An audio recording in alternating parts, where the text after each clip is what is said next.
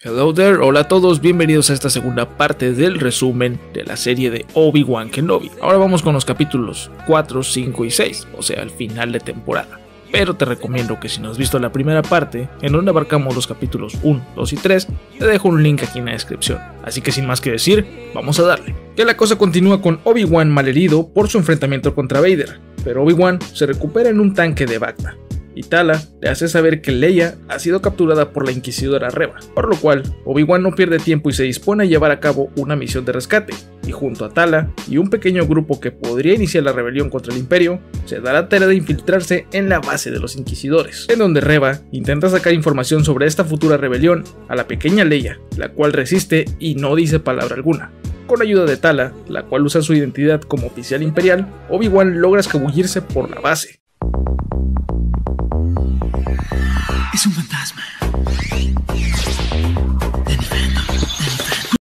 En cierto punto, harta de intentarlo por las buenas, Reba casi que acaba con Leia, pero Tala consigue tiempo para una distracción, exponiendo así su identidad como doble agente. Obi-Wan logra rescatar a Leia, y aquí que se arman los chingadazos. Es un fantasma.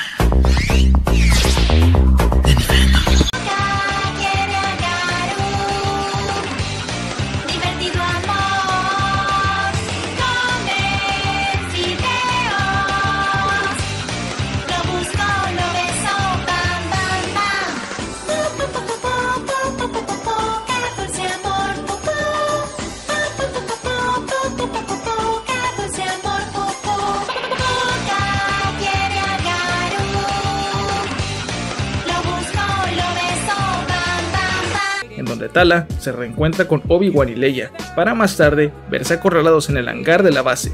En eso que llegan los refuerzos y el grupo logra escapar de los inquisidores, lo cual no deja nada contento a Vader, quien casi acaba con Reva a culpa de su fracaso, pero Reva le dice que ha dejado un rastreador en Kenobi, así que Vader le da otra chance y el Hank que se emperra, pues este nomás quiere tantito para tirarle caca a la Reva. Ahora pasamos al quinto episodio y agárrense mis queridos chavos rucos que se viene el flashback que hace mojar la tanga de todo fan de Star Wars, en donde vemos a un Anakin Skywalker contra un Obi-Wan rejuvenecidos en esta escena que hace contraste con todo lo que va a suceder en este quinto episodio.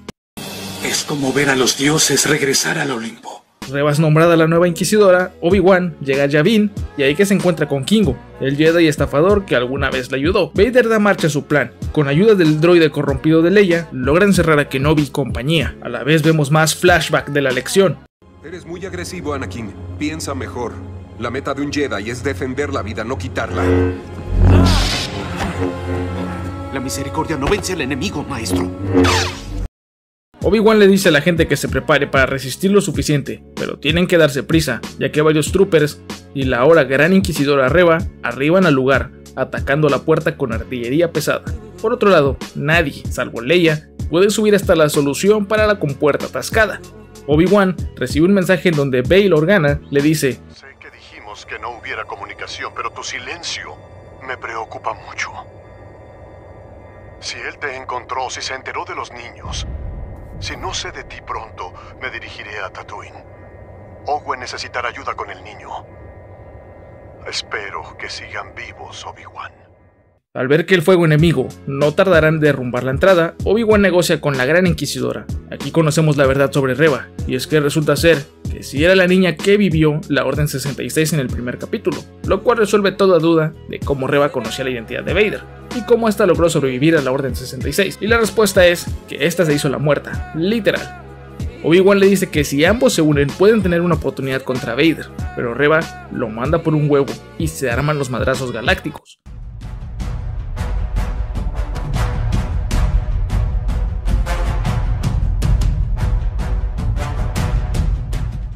lo cual obliga al maestro Kenobi a retroceder durante la batalla.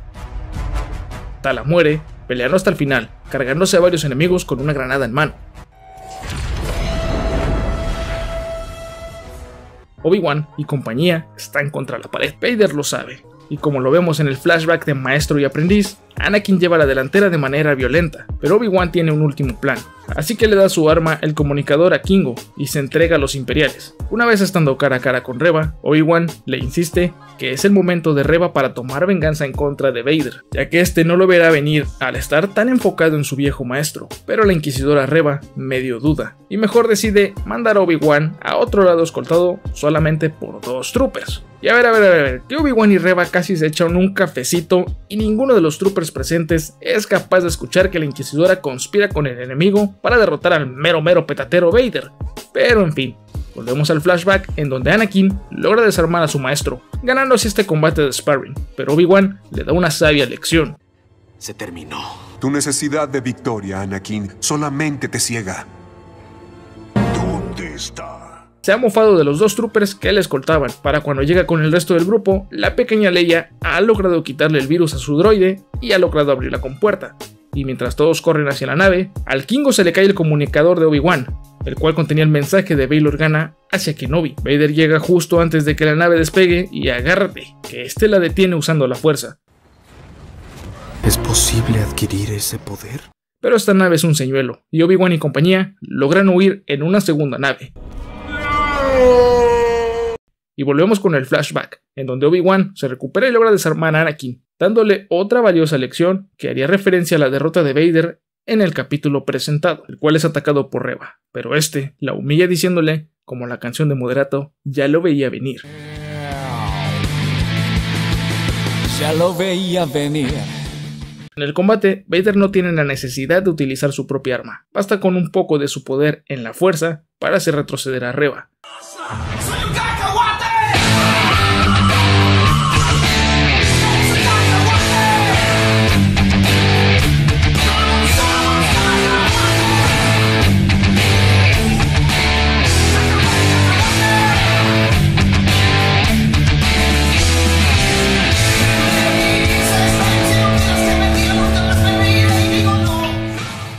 Vader vence sin problema alguno y agárrate por 3008 milésima vez que el Inquisidor sigue vivo y le echa más sal a la derrota de Reva, quitándole el distintivo de Gran Inquisidora y marchándose junto a Lord Vader.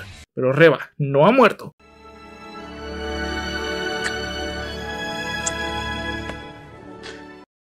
Y mientras se arrastra, se encuentra con el mensaje de Bail Organa hacia Kenobi, exponiendo así la identidad de Luke Skywalker en Tatooine, y por la cara de Obi-Wan, que es igualita a esa cuando se te olvida de extender la ropa y sabes que iba a llover, o cuando se te olvida pagarle a los frijoles, que la cosa está jodida. A esto sumarle que Vader les viene siguiendo, ya que la nave de Kenobi no tiene cómo escapar y Vader le pisa los talones. Ahora pasamos al capítulo 6 y ya en este último capítulo, Reva sigue vivita y coleando y se dispone a encontrar a Luke. Así es, Reva se levantó y llegó a Tatooine más rápido que Kenobi. ¿Cómo? No lo sabemos. Por lo cual, Owen se prepara para esconder al joven Skywalker, mientras Vader se aferra persiguiendo a Obi-Wan, quien al ver que no hay de otra, pues Vader no le dejará en paz, decide hacerle tiempo a Leia y compañía. Hay que Obi-Wan se lanza en una nave de escape para así atraer a Vader, pero el chingado Vader se aferra y persigue a Kenobi, yendo él solo a confrontar a su antiguo maestro, en un último combate que recuerda mucho a la batalla de Mustafar,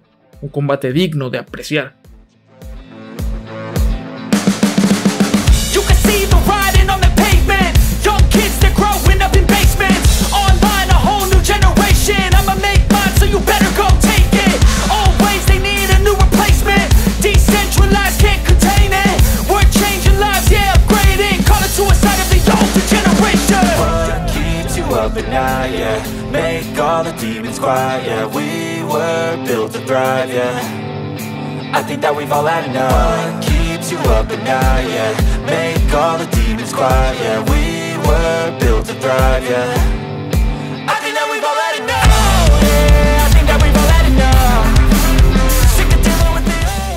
En donde en primera instancia Obi-Wan se ve mermado por la fuerza de Vader, pero Kenobi logra remontar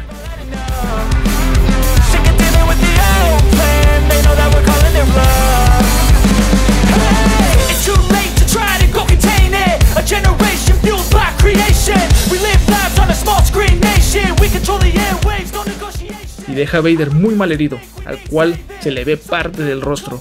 Obi-Wan intenta dialogar con quien alguna vez fuera su aprendiz, Anakin Skywalker, pero Lord Sid dejan claro que Anakin ha muerto y ahora solo existe Darth Vader. Obi-Wan se marcha, dejando atrás a quien alguna vez fuese como su hermano. Y para terminar, Reba que anduvo chingue y chingue a Lowen y a Luke, pero al final no logra hacerle nada a Luke y se arrepiente ya teniéndolo ahí dormidito y todo. Entonces para cuando llega Obi-Wan a Tatooine, Reba entrega al joven Skywalker sano y salvo.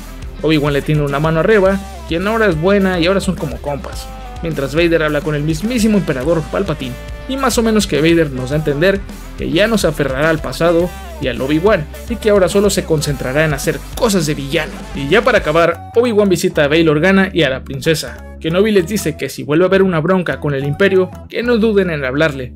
Spoiler, que más adelante Leia sí volverá a acudir a Obi-Wan Kenobi, pero eso sucede en la 4, en donde Obi-Wan ya es viejito. En fin, Obi-Wan se despide de Leia y compañía y para acabar, lo vemos arreglando sus cosas, abandonando su cueva, para después ver a Owen y decirle que este se alejará pues Luke estará mejor sin todo este desmadre de los Jedi, los Sith y la fuerza, y que será mejor para todos. En pocas palabras, Obi-Wan ya no entrenará a Luke en este punto de la historia, aunque sabemos que más adelante Obi-Wan interferirá. Pero eso en el cuarto capítulo, Una Nueva Esperanza. Kenobi le regala una nave al joven Skywalker para después marcharse hacia la nada, pero no sin antes hacer contacto por medio de la fuerza con su antiguo maestro Qui-Gon Jinn, interpretado por Liam Neeson. Y así termina esta serie que a opinión breve de un random más comenzó un poco floja, pero tomó fuerza pasando la mitad de los capítulos y que nos regaló nostalgia de la buena, acompañada de nuevos momentos icónicos para los fans de Star Wars. Y bueno, que aún hay mucha historia sin contar del general Kenobi y su tiempo en Tatooine, pero habrá que ver qué planes tiene Disney para el personaje.